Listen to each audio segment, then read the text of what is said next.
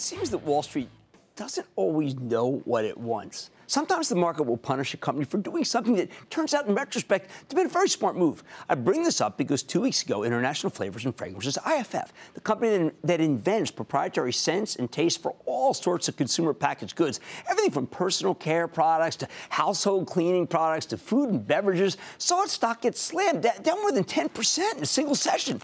This company's a long-time Cramer fade that's made us a killing over the years. Why did it get hit? Even though IFF reported a very strong quarter that same day, the company also announced that it's acquiring Frutarom, and that's a competitor for $7.1 billion in cash and stock. IFF's uh, only paying a 13% premium, and this deal will give them a lot of exposure to the red hot market for natural products. The problem? Well, it's going to be a little diluted, but just near term, as IFF needs to raise $2.2 billion by issuing new stock. But I got to say, the numbers look promising $145 million in cost synergies, and the deal is expected to be double digit additive to earnings in the second full year. So could this weakness be a buying opportunity as IFF transforms itself into even more of a powerhouse? Let's check in with check in with Andreas Fibig. He's the chairman and CEO of International Flavors and Fragrances. Learn more about the Frutarom deal and what it means for the future of his company. Mr. Fibig, welcome back to Mad Money. Good to see you, sir. Have a seat. Thank you. All right, so I puzzle over this because anytime somebody makes a big acquisition and it's going to be double-digit accretive, I'm willing to go through the the uh, valley yes. to, to the peak. But I guess there's some people who just say, you know what, I'm going to wait for the equity offering when that occurs? Maybe. What, what we have seen, and uh, we were on the road actually since the announcement oh, and good. talking to investors, uh, that in particular in the US, uh, many of the investors don't know Frutarom very well, despite the fact that this is a, a, smaller powerhouse in our industry, which has a huge exposure to naturals, mm-hmm. to smaller customers, which is so important right now uh, because that's where the, where the growth is, and has some adjacent businesses like natural colors, for example, which are very accretive to our growth. So I believe we have to explain more what we, what we try to do, and we have to close a deal in an uh, appropriate period of time. But your company can be nimble. I mean, I know they said there's something like 3,000, 5,000 smaller uh, folks, but aren't can't you hire a sales force that gets to them, or is that not your style? Oh, we could, but it would take a much, much longer period of time. Okay. If you, if you look at the customers, we have probably 3,000 customers. Most of them are very big CPG companies, right. and they have 30,000 customers. A lot of smaller and mid-sized uh, customers, and that's what we are after, including the, uh, uh, the portfolio they have. And then I saw that Eastern Europe matters. So uh, yeah. some of these emerging markets are, are uh, good that they have that you need. Yeah, it's very complementary. Right. Particularly Eastern Europe, you mentioned, where we have a very small, a smaller uh, presence on and footprint. And we believe that this can help us a lot to accelerate our profitable growth going forward. Now, uh, when I was looking at your previous presentation uh, for when you were down at the Consumer Products yeah. Show, you talked about delivering long-term value creation. You said drive, drive enhancements in key R&D platforms, naturals. You could not get where they were just through your own R&D?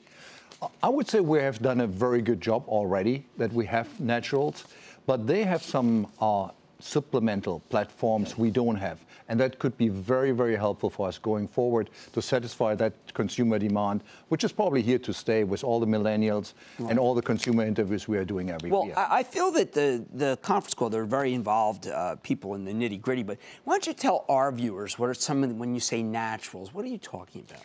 So we, we talk about clean label products, products which are not always just organic, but they have a natural ambience, they have clean labels, and it starts in food. I mean, not, clean labels mean not a lot of preservatives. Not a lot of preservatives on, on the label, absolutely. Uh, now, uh, like dried fruits, they're yes, able to, now, absolutely. how does that work? What do they do there? Uh, what we do, for example, we ourselves, uh, is that we take food side streams and transform them into taste solutions okay. with a drying technology.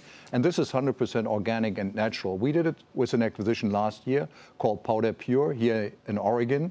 And some of the technology we are acquiring now is very complementary to that what we have already in our hands. All right, now there were some analysts who felt that your fragrance business had accelerated after being muted. How do you feel about fragrances right now? Oh, we feel very, very strong.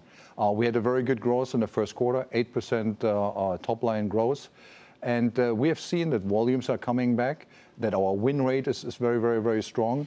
And what is helping here as well is one of the acquisitions, a smaller one, was in active cosmetic ingredients. Very strong double-digit growth, Lucas Meyer Cosmetics, since we acquired it. We and that's very helpful with some of our major customers. So talk about talk to me about the cross-selling opportunities because uh, they weren't fleshed out enough, and I bet you they're substantial.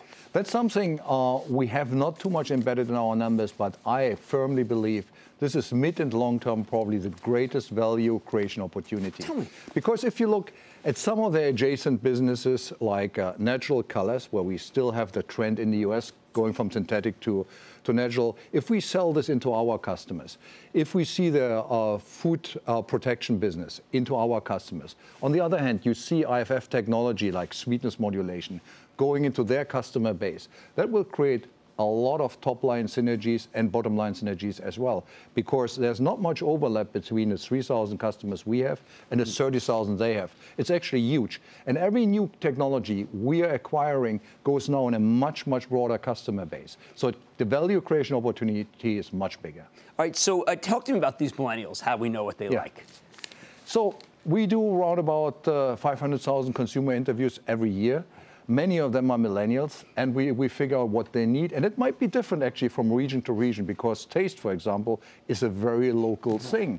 It might even different within the, within the country. We know that in Brazil, for example, the flavor for blueberry yogurt in the northeast is very different than, than in the south, and we try to accommodate that. Now, are you doing much work for the actual supermarkets themselves in private label? We do some work on that, abs- absolutely. And that's where Frutarom does even more work, and that's very helpful. Right, because they signaled out some some supermarkets. I said, geez, you really got to go where they are because they're growing so fast. Some Yeah, these, uh, no, private label. And maybe we see the development here in the US as well. Europe is already very, very strong on private label. Yeah, excellent. Okay, well, that, that's Andreas Fibig, the chairman and CEO of International Flavors and Fragrances. Look, guys, this stock is down almost 18%. That does not make sense to me. Not because w- with an acquisition that next year is going to be just so accretive. Mad Money's back after the break. Booyah! Jim Cramer here from Mad Money. Thanks for watching CNBC on YouTube. Click here to subscribe and get the jump on my exclusives with CEOs, plus market news, investing advice, and a whole lot more.